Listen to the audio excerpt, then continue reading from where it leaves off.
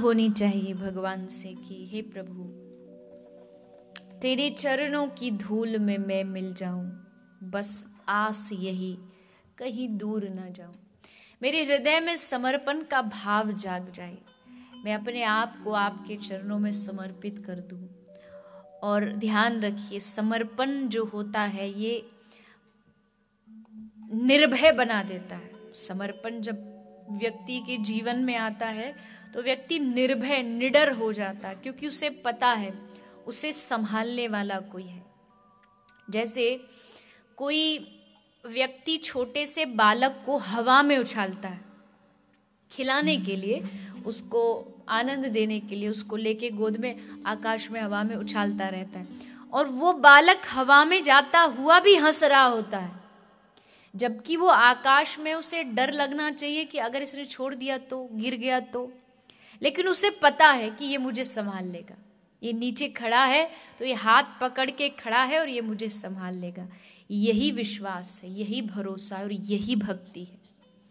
पता है कि मेरा भगवान मेरे साथ खड़ा है और वो मुझे कभी गिरने नहीं देगा और गिरा भी तो संभालेगा। स्वयं वो संभालेगा। एक समर्पण से क्या होता है, कहते हैं कि एक गाय को मारने के लिए बाघ उसके पीछे भागता है। तो गाय आगे आगे भागती है, वो पीछे पीछे, वो बेचारी जान बचा के जैसे तैसे भागती भागती सामने एक कीचड़ भरा तालाब था, दलदल थी उसमें मतलब पानी नहीं था इतना, उसमें घुस गई। तो बाघ भी पीछे पीछे घुस गया उसको खाने के लिए। दोनों भीतर चले गए। अब अंदर जाके कीचड़ के कारण वो गाय उसमें जाके फंस जाती है। और वो बाघ भी फंसा। दोनों फंस गए। पर बाघ निकलने की कोशिश कर रहा है, पर गाय चुपचाप खड़ी और उसके उसको कोई चिंता नज़र नहीं आ रही कि ये चिंतित है या घबराई हुई है। वो चुपचाप जहाँ फंसी वहीं खड़ी है।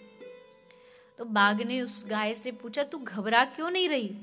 मैं भी फंसा हूँ, तू भी फंसी, मैं तो कोशिश कर रहा हूँ कैसे निकलू, कैसे यहाँ से भागू? तो गाय ने कहा कि घबराने का काम तेरा है। क्यों?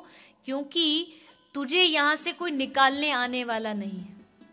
क्योंकि तेरा कोई मालिक नहीं है। पर मेरा मालिक है और शाम को जब समय पर घर नहीं पहुंचूँगी तो ढूंढता ढूंढता यहाँ आएगा और मुझको यहाँ कीचड़ से निकाल करके लेकर जाएगा। इसीलिए जीवन में मालिक का होना आवश्यक है कि कभी रास्ता भी भटक जाए तो ढूंढता हुआ हमें खोजता हुआ आ जाए। मालिक ही नहीं होगा तो बचाएगा कौन? और मालिक कौन है?